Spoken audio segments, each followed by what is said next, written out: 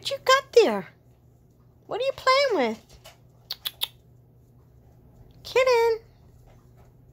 I thought you'd be all tired. Oh, he's... That's not even a cat toy. He's playing with the glitter owl that I'm sure was knocked off my fireplace by Cappy's gigantic tail. You're going to have pink glitter all over you. Oh my goodness. Okay. But anyway, baby boy was neutered today. And when I first put, don't lick your incision.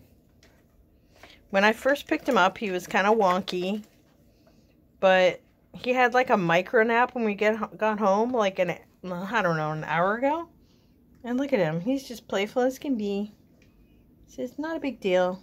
But he got his neutering, he got microchipped, and he got his shots up to date. Because I don't think his horrible owner, C-word bitch, that left him so matted, ever bought him, took him to the vet. Because she claims she did.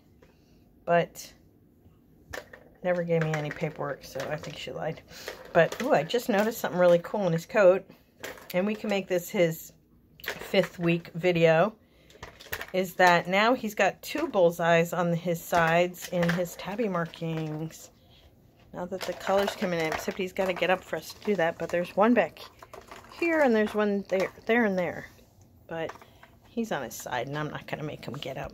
Yes. Okay, I'm going to make you get up just to show everybody your fur. Oof. But look at this fur. Five weeks later. Oh my goodness, she's getting top coat now in. Oh, oh shoot. I'm going to ruin the video because... Come here, baby. Here, he'll come back. He'll come. Come on. There he is. But yeah, just neutered today and he's no worse the wear. A little bit easier than a spay, isn't it?